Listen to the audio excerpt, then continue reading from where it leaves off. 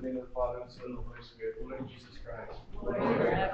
It's a wonderful thing this morning to hear all the crying and cooing, screaming babies, all the crying and cooing and screaming young children. Know, um, thanks be to God, and I'm thankful that I'm, I'm needing to often remind our parish that the children are a blessing. And actually, it's a sign, it's a, an absolute direct sign of God's blessing on us as a community.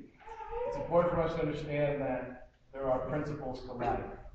Principles to life. And there are things that are like laws of, of nature, laws of the supernatural or the spiritual world, if you will. And the fact is that life has certain characteristics to it. One of the things about life is that life, you can't control it. Life is something that you engage with. Life is something that happens. Life is something that you participate with. It is when we are ignorant of these principles of life that we can become hardened to God, we become hardened to life. This is what can happen to a community. They aren't aware that children or other things that God has placed in front of them are a gift in a way in which they are to engage life. But also, too, this was the same thing that happened to the rich man. He was not aware of the principles of life. As a Jew, he should have known certain things, but as many people, him being wealthy, superseded his understanding of himself. More than seeing himself as a Jew, more than seeing himself as the people of God, he saw himself in light of his riches and his possessions. So he became ignorant of the principles of God. The principle of God that he most that he should have been aware of is that God is always looking to balance things out. You see it in nature. Nature is always looking to balance herself out. So, in the same principle, God saw the greed, he saw the avarice, he saw the sin of the rich man. And God loved the rich man.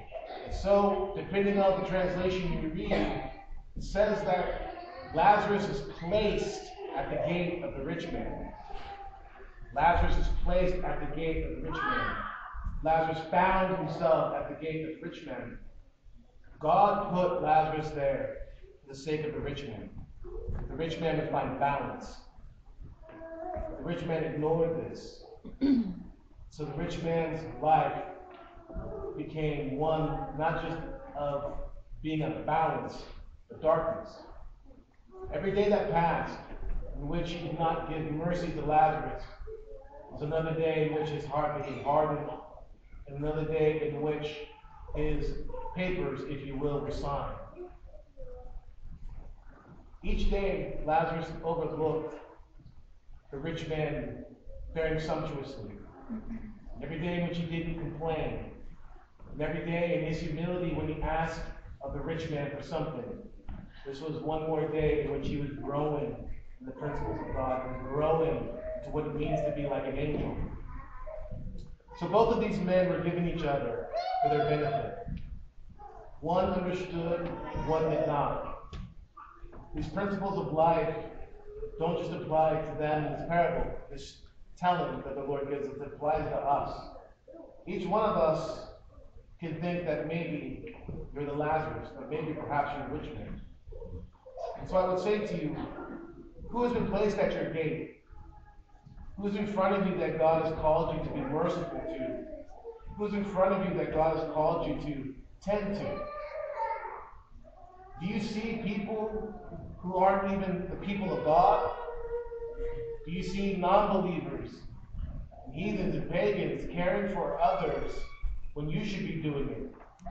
Just how the rich man, he saw the dogs licking Lazarus' sores. The dogs. The dogs tended to him better than he did. Do we do the same? Do we look at someone in our life or situation in our life and just kind of like, oh, we shrug our shoulders, we go back to our phones, go back to our barbecue, we just go on with our life. This is how we find ourselves to be like the rich man. We don't see the Lazarus that God's put in front of us for our salvation. Perhaps you may be saying, well, that's definitely not me. I'm not a rich man. I got it tough. Okay? Fair enough. So in your heart, if you think that you're Lazarus, if you think that you have it tough, and let me ask you this. Are you complaining? Are you cursing the rich man in your life who isn't tending to you? Are you shaking your fist? Because if you are, you're not like Lazarus. Lazarus endured. Lazarus understood something. God rewarded him. Let's have eyes to look and to see. Who are we? Are we the rich man or are we Lazarus? We're Lazarus, are we acting like Lazarus? Are we blessing instead of cursing? Are we patient or are we petulant? God will be looking, He'll be watching, and He'll be testing. And one day God will judge. May your guardian angels give all of you wisdom and discernment to know who you are and how to be. In the name of the Father, and the Son, and the Holy Spirit. Amen.